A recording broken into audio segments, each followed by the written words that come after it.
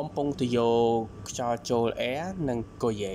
អញ្ចឹងតកតងជាមួយនឹងបំពង់ទយោចូលនិងខ្យល់ air ក៏ជាផ្នែកមួយដ៏សំខាន់ផងដែរសម្រាប់ការត្រួតពិនិត្យនិងថែទាំត្រាក់ទ័ររបស់យើង អញ្ចឹងនៅត្រង់ចំណុចនេះចង់ទាញតាក់ទងជាមួយនឹងចំណាប់អារម្មណ៍ពុកម៉ែបងប្អូនដែលជាអ្នកប្រើប្រាស់ជាមួយនឹងគ្រឿងយន្តកសិកម្មពិសេស tractor ហើយនិង tractor យ៉ាន់ម៉ាតែម្ដងអញ្ចឹងនៅក្នុងហ្នឹងគឺចង់ឲ្យពុកម៉ែបងប្អូនយកចិត្តទុកដាក់ទៅលើការត្រួតពិនិត្យនិងថែទាំទៅលើបំពង់ទយោ air ហើយនិង Cosier សម្រាប់ការរឹតបន្តឹងតាក់ទងជាមួយនឹងតំណមុខក្នុងការដែលយើងចាប់បំពង់មុខទយោហើយនិងឆ្នាំង air ហ្នឹង អញ្ចឹងកន្លែងហ្នឹងគឺជាចំណុចមួយដែលបងប្អូនយើងមួយចំនួនអាចនឹងមានការធ្វើប្រហែសច្រើនតាក់ទងជាមួយនឹងចំណុចនេះដោយសារតែគិតថាវាមិនអីមិនអីហើយណាមួយអឺពីច្រើនយើងត្រួតពិនិត្យតែទៅលើ air ឬក៏ឆ្នាំង air តែយើងអាចបានត្រួតពិនិត្យទៅលើផ្នែកហ្នឹងនេះដល់តែវាខូចដល់តែ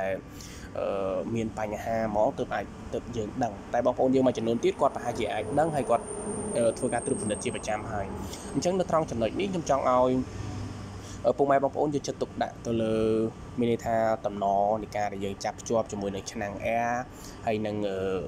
តកតងជាមួយនឹងតយោនឹងតើតើយើងបានមូរឹតបន្តឹងជាមួយនឹងគោយាយនឹងបានតឹងណែនល្អអត់ពូកន្លែងហ្នឹងគឺជាកន្លែងដែលមានខ្យល់ក្នុងការដែលចេញចូលអញ្ចឹងបានន័យថាបើសិនជាករណីមានការរឹតដោយអត់តឹង គេថាធូធូលងលងអញ្ចឹងប្រកាសជាខ្យល់ដែលវាចេញពី air មកហ្នឹងវាលាយឡំជាមួយនឹងខ្យល់បរិយាកាសខាងក្រៅទៀតអញ្ចឹងវាធ្វើឲ្យខ្យល់របស់យើងហ្នឹងខ្លាចទៅជាខ្យល់មួយដែលអត់ស្អាតទេអញ្ចឹងយើងត្រូវតែយកចិត្តទុកដាក់តាក់ទងជាមួយនឹងអាតំណនឹងការរឹតបន្តឹងជាមួយនឹងគោយេហ្នឹងតើតើយើងរឹតបានតឹងល្អដែរឬក៏អត់ ហើយមួយវិញទៀតតើគួរនិយាយដែលយើងរឹតហ្នឹងវាមានសភាពល្អដែលអាចប្រើប្រាស់បានទេឬក៏យើងគ្រាន់តែមូហើយអាទាំងដែលដឹងថាវាអត់ជាប់អត់ល្អហើយនៅតែបន្តការប្រើប្រាស់ទៀតអញ្ចឹងក៏វាជាកំហុសរបស់យើងមួយដែរហើយមួយវិញទៀតតកតងជាមួយនឹងប្រយោគនឹងទៀតសោតតយោនេះវាមិនងាយក្នុងការដែលខូចខាតទេក៏ប៉ុន្តែវាមិនប្រកាសថាវាមិនខូចដែរអញ្ចឹងវាជាចំណុចមួយដែលឲ្យយើងមានការទៀមទាក្នុងការដែលយកចិត្តទុកដាក់ ត្រួតពិនិត្យតើតយោនៃបំពង់ខ្យល់របស់យើងឬក៏យោ air របស់យើងហ្នឹងតើតើវាមានសភាព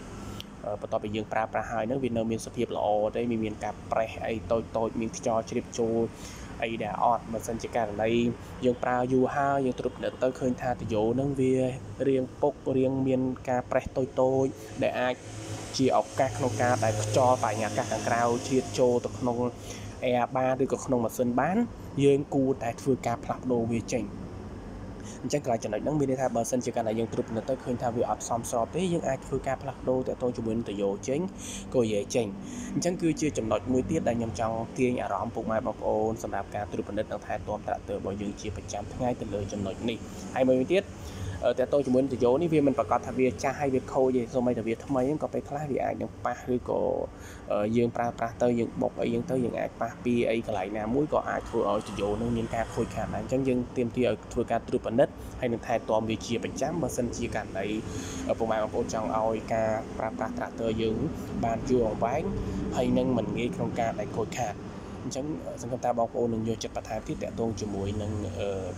ទៅយោ ចូលនឹងគួរនិយាយនៃ